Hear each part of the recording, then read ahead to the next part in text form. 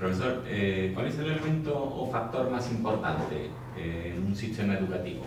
Son sin duda los eh, profesores. Son más, mucho más importantes que, por ejemplo, los recursos físicos como libros de texto o portátiles en el aula. No son de verdad los profesores. ¿Y cómo podemos mejorar la calidad del profesorado? Bueno, para hacer eso tenemos que empezar a medir la calidad de los profesores y eso ya es un tema muy difícil porque es difícil medir esta calidad. En los últimos 10, 15 años se han desarrollado métodos para hacer exactamente eso y se hace de hecho hoy día ya en Estados Unidos y en algunos otros países. Esos métodos más o menos funcionan así que los profesores son eh, evaluados o su calidad es medida en relación al rendimiento de sus estudiantes. Y podemos, quiero enfatizar que eso es el rendimiento del estudiante que está em, impartido por el profesor, no por las familias, por, el, por la zona en donde viven y otros factores que pueden influir en el rendimiento.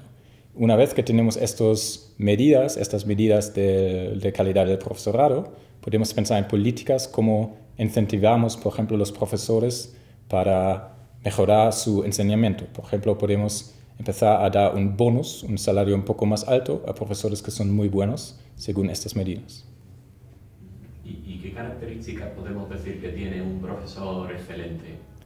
Eso es una pregunta que se ha estudiado mucho y desafortunadamente no se ha llegado a una conclusión uh, aún. Se sabe bien qué características en que depende el salario hoy día de muchos profesores. Por ejemplo, su experiencia, sus títulos, si tienen un máster, un doctorado o no. Eso no influye en el rendimiento de los estudiantes. Pero no sabemos bien qué son, cuáles son de verdad las características que hacen un buen profesor o un mal profesor. ¿Y dónde, entendemos, es difícil de reconocerlo, pero es posible identificarlo dónde están los mejores en el si en un país o en otro, en zonas rurales, en ciudades, en sistema público, privado. Sí, en general es difícil comparar profesores entre países, pero dentro de, país, de un país es posible con estos métodos de, de evaluación que, de que acabo de hablar, de cómo van, va para los estudiantes de un eh, profesor particular en pruebas externas, por ejemplo.